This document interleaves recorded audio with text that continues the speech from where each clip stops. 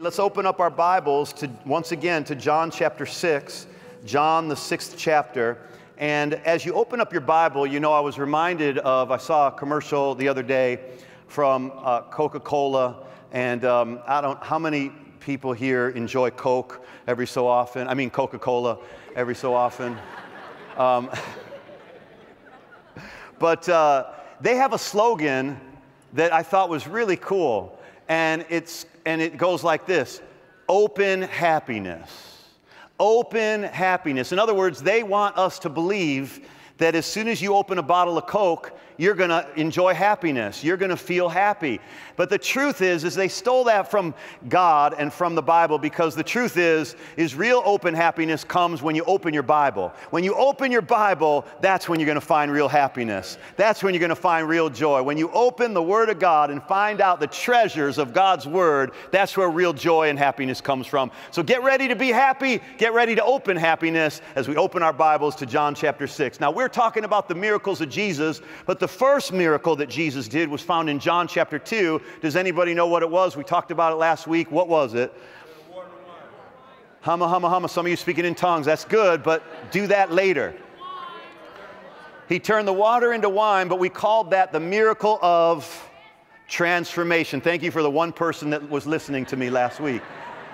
Now, now in the miracle of transformation, when Jesus turned water into wine, he told the, he told the servants at the wedding to take the water and fill water, fill the water pots with water. And they were water pots that were like the size of these water pots that literally are the size of a human being. They were that big. They were six, uh, they, they, they would hold, um, I think, six. Um, 60 gallons or something like that. They were, they were, able to, um, they were able to hold literally what our body can hold. So they, they were they were six gallon jugs, or I, I don't have the exact translation, maybe somebody has it here, but they were big enough to hold uh, water like a human body. And the point is, and the point that God was making here was that we are like the water pot. And in order to experience any miracle in our life, what God wants to do is He wants to bring His transforming power in our life. And how He does that is as we fill our lives, we're the vessel, we're the water pot, because we're vessels of clay, right? We're the water pot, and God will fill us up with His Word. And as we allow ourselves to be filled up with the Word of God, all the way to the brim, that's when the water turned into wine. The water never turned into wine when the water was just at the bottom of the vessel. The water didn't turn into wine when it was a quarter of the way filled. The water didn't turn into wine when it was halfway filled. The water didn't turn into wine when it was three quarters filled. The water turned into wine when the water came up all the way to the brim. Jesus said, Fill the water pots with water up to the brim, which is the top, that, that where your head is you fill the water pot with water up to the top. And when you fill up to the top, that means water. The, the Word of God is the water. The water represents the Word of God according to the Bible. As, the, as you're filled up with the Word of God, it's got to get into your heart. Then it's got to be coming out of your mouth. Then it's got to be something that is filling up your ears. Then it's got to be something that's filling up your eyes. It's something we need to be listening to all the time, seeing all the time, speaking all the time. And then it's got to get into our head where it's it's what we're thinking all the time. And as you less, as you fill up on the Word of God to where it's coming out of your mouth all the time, you're hearing it all the time, you're seeing it all the time, you're thinking it all the time, that's when the water turns into wine. That's when the Word going in, which might go in boring, it's like the water. Water's not pop. Water's not wine. Water isn't something that makes you necessarily feel good right away. It's water. As you drink the water, as you come to church on Sunday, maybe you won't feel good as I'm pouring water into your vessel. Maybe it won't change you instantly as I'm pouring water into your vessel. But if you let the water keep pouring and keep pouring, show up on Wednesday, show up next Sunday, show up on Wednesday, show up the following Sunday, show up on Good Friday, show up on Easter Sunday, show up on the Sunday after Easter not just the Sunday of Easter. And as you continue to fill up and through the week reading the Bible, speaking God's word, the water is going to turn into wine. Water going in from the boring preacher is going to be just water, but it's the word of God, and it's the word of God, and it's the word of God, and as it gets to your brim, suddenly it's going to become wine, and soon you're going to be like, whoa, I didn't know what hit me. Whoa, the power of God hit me. All of a sudden, you're going to be stumbling in a good way. You're going to be like, whoa, this makes me feel really good. What just happened? The water turned into wine. All of a sudden, after hearing the word for several weeks in a row, all of a sudden you're going to start feeling happiness and joy, and you're going to go, wow, how did that happen? Because water got turned into wine. All of a sudden, healing's going to show up in your body. You've been hearing the word and nothing happened, hearing the word and nothing happened, hearing the word and nothing happened. And then all of a sudden, after weeks and weeks of hearing the word, what happens? The water turns into wine and healing shows up. The water turns into wine and a good marriage shows up. Water turns into wine and the financial breakthrough shows up. Water turns into wine and the depression leaves and the joy comes. But you got to fill up to the brim, all the way to the top, to where that's all you're thinking about. That's how God does miracles. Amen? The miracle of transformation. Well, now we're going to talk about the miracle of God's grace in John chapter 6 as we continue in this chapter. I want you to see something amazing that happens after he turns the five loaves, after he multiplies the five loaves and the two fish. What happens next? It says in verse 15 that Jesus, therefore, perceiving in his, in his mind and knowing that they were going to take him by force to make him king, departed again to the mountain by himself alone. Verse 16 Now, when evening had come, his disciples went down to the sea. And after getting into a boat, verse 17, they began to go over the sea toward Capernaum. So they get in the boat. Jesus is not in this boat with them. This is not the same story as in Mark chapter 4. It's a similar story to Mark chapter 6 when the storm hits the second time. Jesus is not in the boat. In Mark chapter 4, Jesus was in the boat. These are two different occurrences. They're not the same.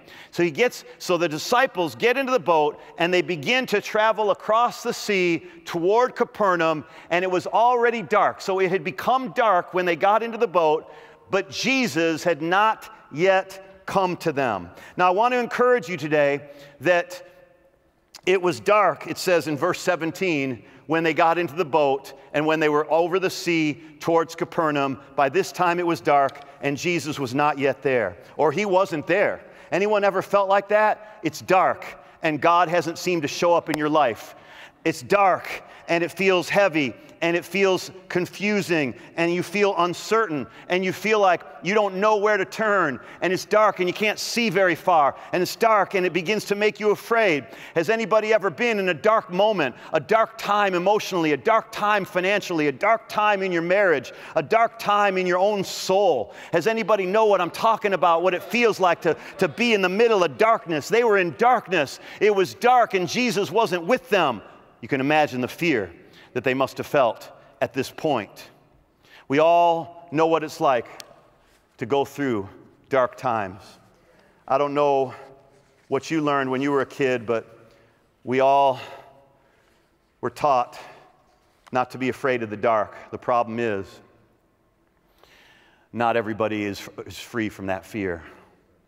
We all know what it's like to be searching for the light in a dark room. We've all been there, that feeling of uncertainty. We all have faced dark moments. Sometimes they're moments, sometimes there's, there are months. Seasons where it seems as if darkness is hovering over our soul and over our situation. When I speak of darkness, I'm speaking of uncertain times, times of discouragement, times when it seems like there's no hope. It seems like God is not there. It seems like we're not making any progress. Reminds me of the little boy who was afraid of the dark. And his mother turned to him, and one day they were cleaning up in the kitchen. It was at nighttime. And the little boy asked, the, the mother asked the little boy to go to the back porch to find the broom. The little boy turned to his mother and he said, Mama, I don't want to go out there. It's dark. His mother smiled reassuringly to her son and said, Oh, darling, you don't have to be afraid of the dark. He said, Why not? And she said, Because Jesus is there. He'll look out for you, He'll look after you and protect you. Jesus is out there. The little boy looked at his mother real hard and he asked, Are you sure he's out there? And she said, Yes, I'm sure, my child. He is everywhere. He is always ready to help you when you need him, she said. He thought about it for a minute, then went to the back door and just crept up to the back door, cracked it open just a little, stuck his head outside, and without going too far, he yelled, Jesus, if you're out there, could you hand me the broom?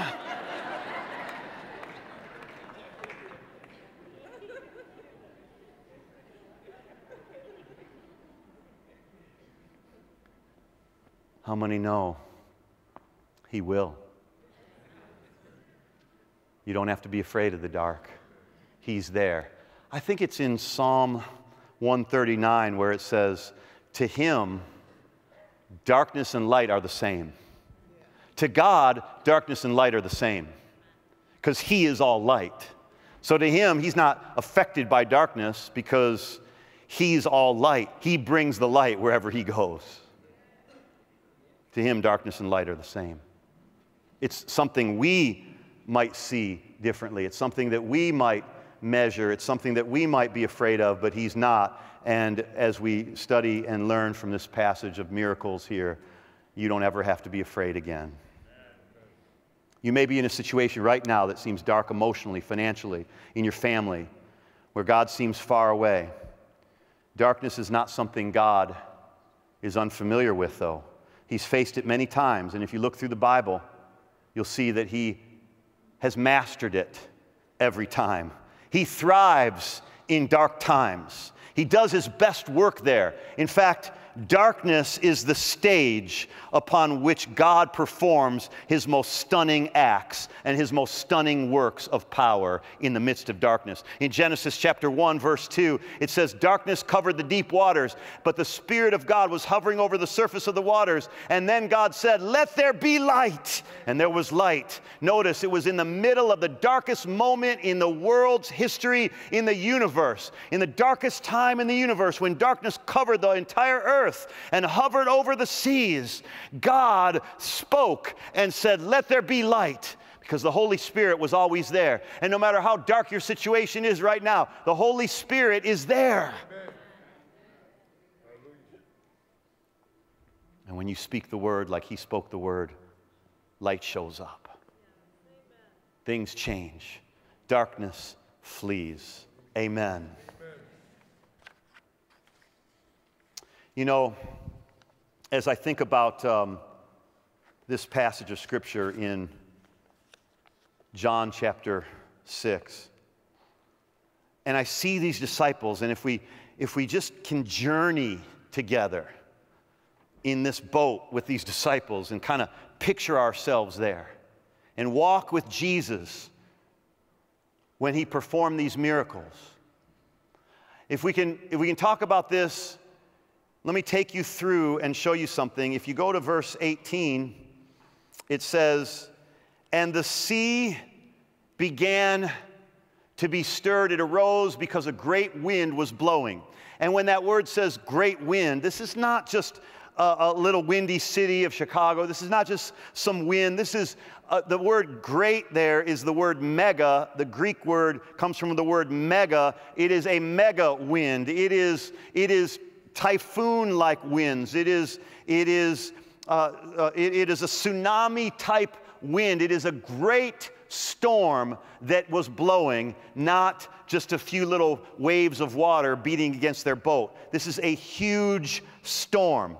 And it says that the, it was, the sea was, was stirred up and strong winds blowing. Now, I want to uh, just alert you to, to something here the, the fear that must have been begun to stir up in these disciples. Because let me tell you something. It says in verse um, 19, when therefore they had rowed about three or four miles, they saw Jesus walking on the sea and drawing near the boat and, they, and of course, they were afraid. They were afraid at all that was happening. And if we can talk about this, I'd like to tell you there are four things in this story that caused fear. Number one, and tr- it's true that there are four things in our story that will cause fear at times as well. There were four things that caused fear in this story. Number one, it was dark. Darkness can cause fear.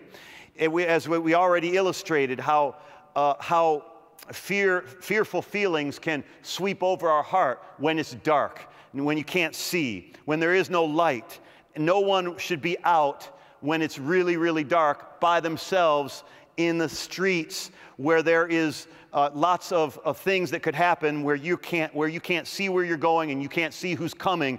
Darkness can cause fear. That's the first thing that um, caused fear in these disciples' life. The second thing that caused fear was there was a great storm. There was a mega storm. Storms can cause fear. Remember, this is a massive storm that could hit suddenly at any moment in the sea that they were traveling on. They were caught in a violent storm. Has anybody been through a storm in their life or two? Have, anybody going through one right now? Anybody going through such a hard storm you can't even lift your hand to answer yes, that's me. The fact is is that that was the second thing that caused fear. Number one, it was dark. Number two, there was a great storm. Number three, Jesus was not with them. Listen, when, when, when a person is without Jesus, anything's going to bring fear in their life. No matter what the situation is, you're going to be a person who's living in fear continually without Jesus.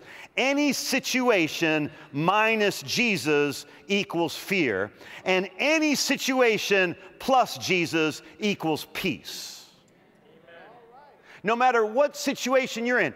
If you if you have Jesus living in you, if Jesus is your Savior and Lord, no matter what you're going through, no matter what the situation is, good or bad, tough or easy, dark or light,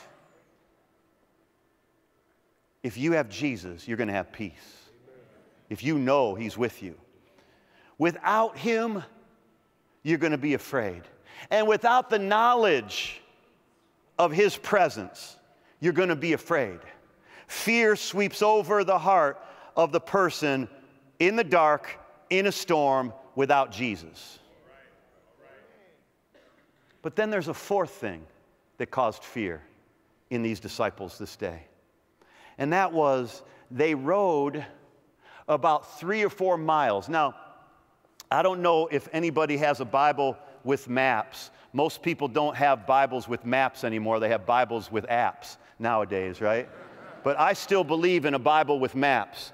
And there's something really great about this because I studied this story in the maps. And if you go to one of the maps that has Capernaum in there and where they started and where they were going, and it says they were three or four miles out in the water, you'll find that three or four miles out was only halfway to the other side. The other side, the total distance from the side they took off from to the side that they were trying to get to was about seven to eight miles wide. And there was no shortcuts and there was no other way to get to the other side except crossing that sea. And they had gotten halfway across. Anybody been halfway across the Atlantic Ocean in a plane or the Pacific Ocean in a plane and all of a sudden there's turbulence that's, that makes you a little uncertain, and all of a sudden the plane goes like this. I've been in planes like that that go like this. I have been in planes, I told you the other day, a few weeks ago, I've been in planes that almost crashed. I've been in, least, in, in at least two planes that almost crashed that, were for, that, that had it not been for the Lord who was on my side. Right?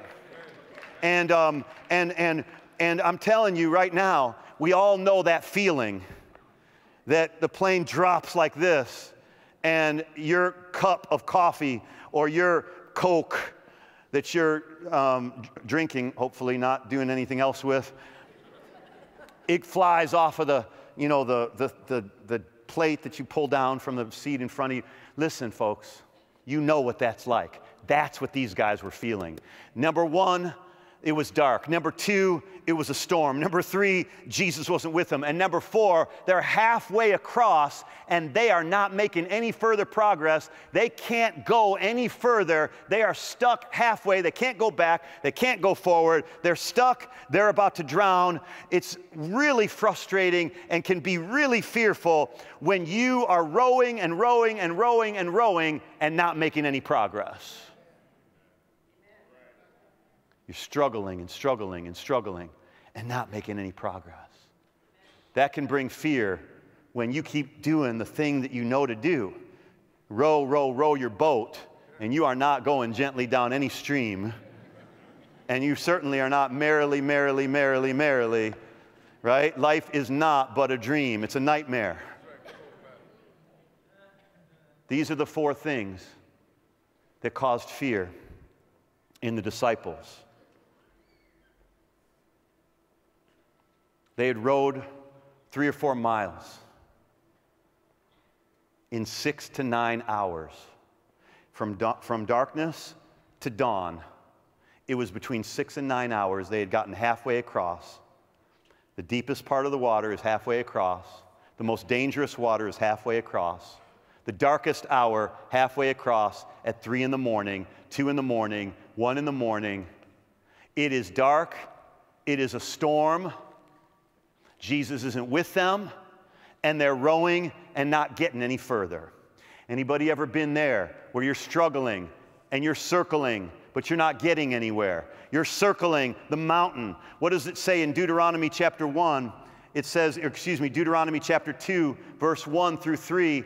God says to the children of Israel, it was a it was a 40 day, excuse me, it was an 11 day journey from the wilderness to the promised land. And the Bible says after 40 years, it, I don't know if you heard that. It was an 11 day journey from the wilderness to the promised land, but after 40 years, the children of Israel were still circling around the mountain and around the mountain. And they kept going around it and around it and around it and around it. And I don't know about you, but I don't want to be circling around the same old mountain all the time. I don't want to circle around that mountain of sickness. I don't know what mountain you're circling around, but God says in Deuteronomy chapter 2, verse 1 through 3, He says, You have circled this mountain long enough. Now it's time to turn north. Now it's time to make an impact. Now it's time to get where, you, where you're supposed to be. Are you tired of circling around your your mountains today?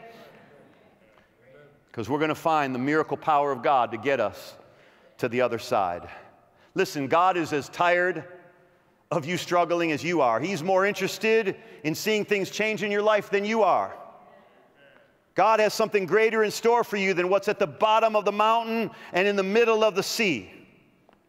We've accepted and tolerated the middle of the sea life, storms and darkness, and without Jesus. We've tolerated that long enough. We've accepted and tolerated life in mediocrity and in failure and in defeat, and we don't have to settle for that life anymore. And there's one reason why we haven't, there's one reason why we've settled for where we're at, because we've struggled and we've struggled and we've rode and we've rode for, he said, for three to four miles, and they've gotten nowhere. After nine hours, they're only halfway across and they can't get any further. Maybe you're struggling and you're rowing to try to get past a marriage problem and you can't seem to get past it. To get past a financial problem, but you keep struggling. To get past a physical health problem, but you keep struggling and you can't get to the other side.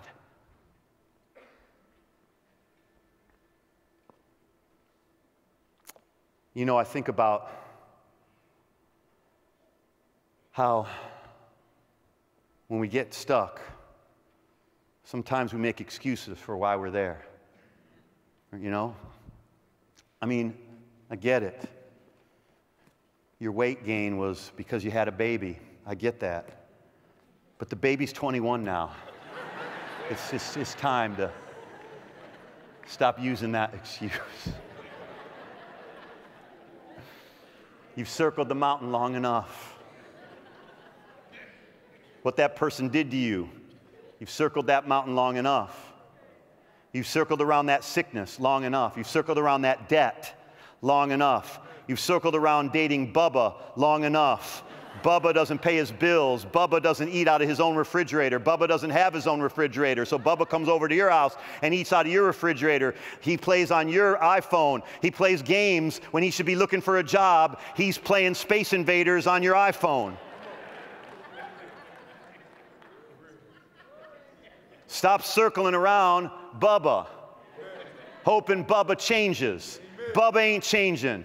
He hadn't been to church in four weeks. He hasn't been given. He hasn't been serving. He doesn't volunteer for anything. And you're praying for a miracle in Bubba. You, you, it's easier to pray for a miracle of finding somebody else than finding Bubba to change. Stop trying to get Bubba to change and believe that there's lots of good fish in the sea. Come on, sister, where are you who've been circling around Bubba too long? It's time to stop circling around that mountain. It's time to give up on Bubba. Don't give up on yourself and don't give up on God and don't blame yourself for the reason Bubba doesn't change. Bubba doesn't change because Bubba doesn't want to change. Bubba isn't staying the same because you did something. You're not the one making Bubba stay the same. You're not the reason that's going to get Bubba to change. If Bubba doesn't change because he wants to, Bubba ain't changing. Stop circling around Bubba. Amen.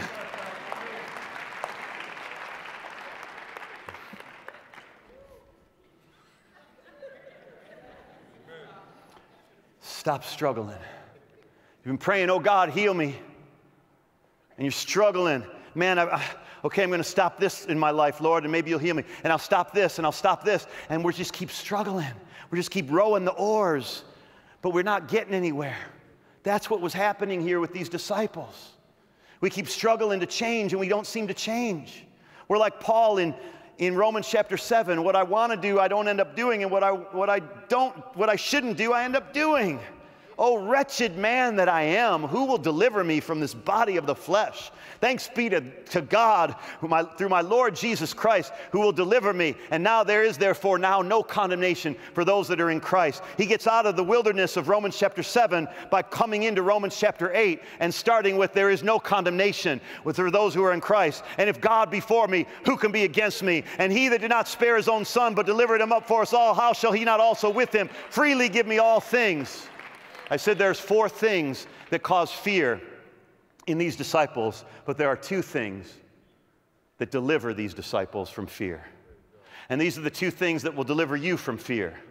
So when they rowed about three or four miles, they're halfway, they're in the middle of the sea, the unsafest, da- most dangerous place, and they see Jesus walking on the sea, drawing near the boat, and they were afraid.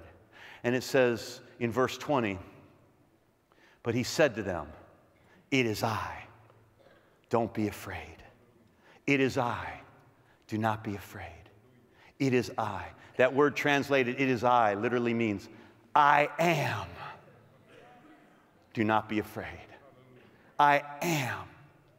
Do not be afraid. Go back to verse 19. It said they saw Jesus, and what was he doing? He was walking on the sea. What was their problem? The water of the sea. The wind and the water of the sea was their problem. But they see Jesus, and what is he doing? He's walking on the sea. He's walking on their problem. He's on top of the situation, folks. He's on top of your problem. He's on top of the situation. He's walking on top of it. It's under his feet. That's where the devil is, under your feet. That's where your problem is, under your feet. Stop worrying about about what's over you and stop realizing you're the head and not the tail. You're above only and not beneath. And Jesus starts walking on the sea, showing them whatever has been bothering you and whatever you've been afraid of, I'm walking on top of it to show you that I have dominion over this thing and you have dominion over this thing. And so he's walking on the sea. And notice what he's doing. He is coming toward them. This is amazing to me. This is the miracle of God's grace. The miracle is not that he's walking on the water. That's easy for him. He made the water. He can walk on whatever he wants to walk on. The miracle, it is a miracle that he's walking on water, don't get me wrong. It is a miracle, but it's not the miracle here. Let me show you the miracle. He's walking on the water toward them in their storm, in their darkness, and in their fear. He's coming towards them. They didn't even ask, they didn't even pray. Where's all their praying and fasting to get God to move? That's the law that you have to pray and fast to get God to move. When what you really need to do is realize He's moving. And you know where He's moving? Toward you all the time. This is the miracle of God's grace. They weren't even praying. They weren't even fasting. They weren't even, uh, they weren't even people that were, I mean, living holy or godly lives for all we know. All we know is this, is that God, is that Jesus saw them struggling and came to them. And I want you to know when you're struggling, He's not sitting on the sidelines. When you're struggling, He's not sitting at the dock of the bay watching the tide roll away.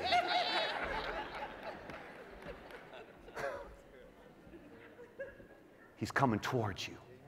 It's coming towards you. That's grace. It's always coming towards you. God's always coming to you. God's always coming at you. God's always coming for you. God's always coming with you. God's always coming to you to heal you, to deliver you, to rescue you, to show you that He does not leave you alone in your struggle in midnight hour. He's always coming to you. That's the miracle here. It's not that He's walking on the water, it's what direction He's going in. And He's never walking away from you in your time of struggle. He's not running from you in your time of struggle. When we're faithless, He remains faithful.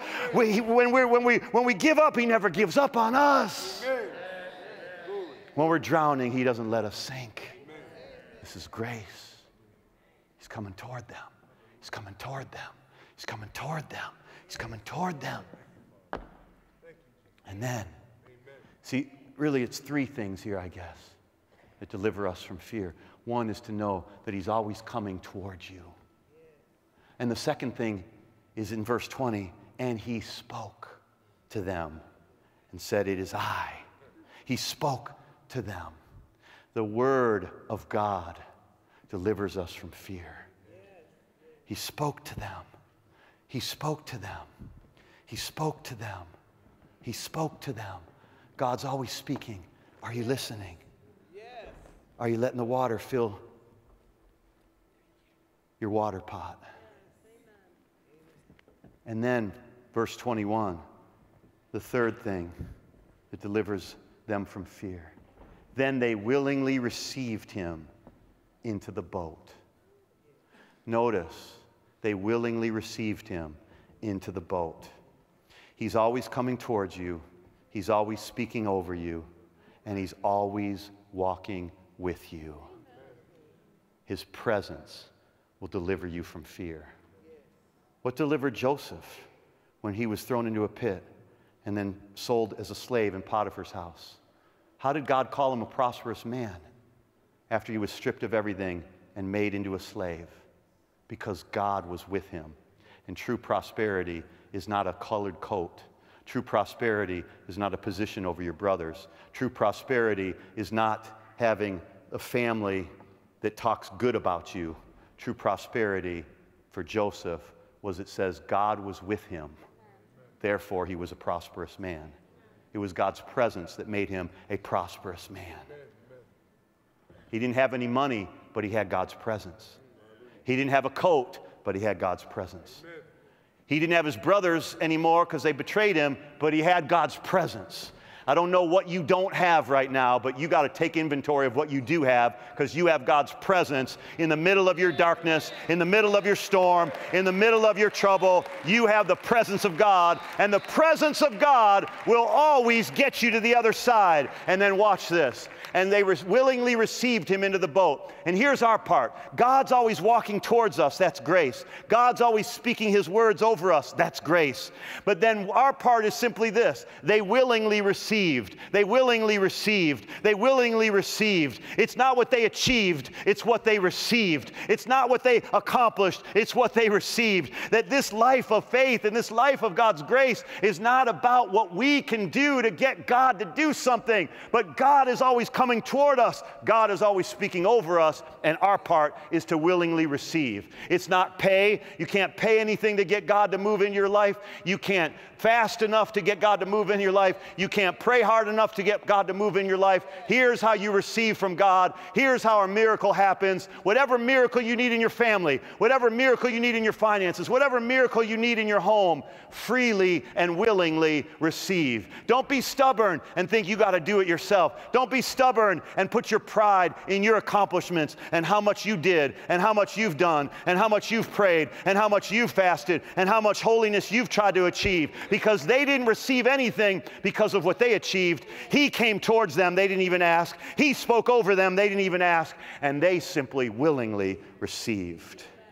If you want a miracle from God in any area of your life, just willingly receive it. It's a gift. 1 Corinthians chapter 12 calls miracles a gift from God. It's a gift. It's a gift. It's a gift. Willingly receive. What's our part? Willingly receive. What's his part? He comes towards you. What's his part? He speaks over you. What's your part? Willingly receive. Willingly receive. And when they willingly received him into the boat, remember where they were? Three to four miles? They were halfway across. You study your maps yourself. They were halfway across. They weren't getting to the other side without him. They were going to drown without him. And they willingly received him into the boat. And when they willingly received, immediately, this is the miracle. When they willingly received, immediately, they were at the land where they were going. Wait a minute. It took them nine hours to get stuck. And yet, immediately, when Jesus came toward them, Jesus spoke over them, they simply received. That's grace. And they were there. Who needs to get there? When you have Him here, you will be there. When you have Him here, you will be there. Because you have Him here, you're there. All you've got to do is find out what He says and know that He's coming towards you and just open your arms. You know, to me, worship, when we open our arms, it's an act of receiving. You know, you lift your hands, it's an act of receiving. If you come and worship and you're like this, well, I don't do that. You know, I'm not one of those crazy holy rollers at Life Changers. Those are crazy people. Man, they roll around the floor. They do all sorts of weird things. They spit up vomit. First of all, we don't do that. You got to go some other church if you want people spitting up vomit. But when you close your arms like that, it's not that you, God doesn't love you. It's not that God is, it's not that God's looking at you and saying, What's the matter with you? How come you're not more reverent? How come you're not more holy? How come you're not more godly? Why don't you lift your hands like the crazy folks? No, it's that you're just saying you don't, you're not opening yourself up to receive. When you go like this, you're, you're in receiving mode. Imagine if I was a wide receiver on the Chicago Bears.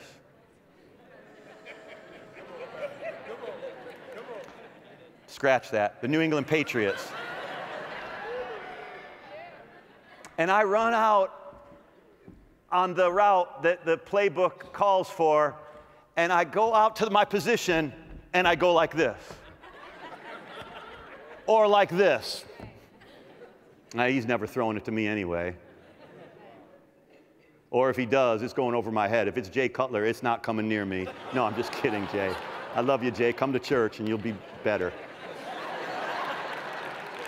But, but, you can't receive like this. You got to open up. They willingly received him, and bam, they were there. Receive his word, and bam, it's yours. Ah, I don't know if I believe all that. I think we got to struggle more. Really? You've been struggling. To, all you've gotten there is halfway across and you're about to drown. You want to keep struggling and really be holy? Then die.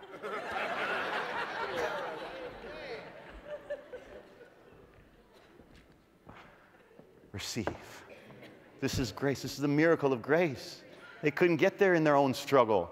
But when they got him in there, when they received him willingly, that's why, man, when it comes to giving and praying, it, it should be, you should want to do it. It shouldn't be like, I have to do it.